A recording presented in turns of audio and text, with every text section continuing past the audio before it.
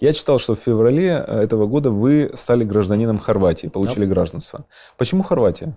А, ну, а, учитывая мои проблемы с нынешней российской властью, мне, в общем-то, необходимо было все-таки получить какой-то документ, по которому я могу путешествовать по миру. То есть российский паспорт у меня, правда, кончается в 2016 году, но и? места для виста там заканчиваются. И что российский паспорт вы будете продлевать? Вы ну, я подам его, да. Ну, нет, меня паспорт есть, я, конечно. Да. Но а, было совершенно очевидно, что как бы сдать паспорт в российское консульство в Нью-Йорке, ну, могут быть разные вещи.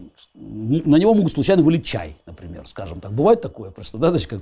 А самое простое, если даже не хотят ничего делать, просто сообщат, а что вообще здесь подаете? Поезжайте в Москву и там продлеваете. Там ну, вас ждут. Там вас ждут, конечно. А что ж тут вы, вы что тут, как бы, кто мешает? Поезжайте, там и получите.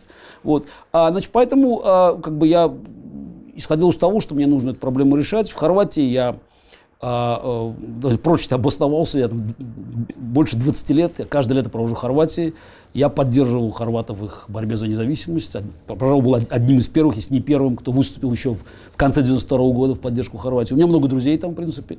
И когда я обратился к ним, в общем, хорватское правительство, оно, в общем...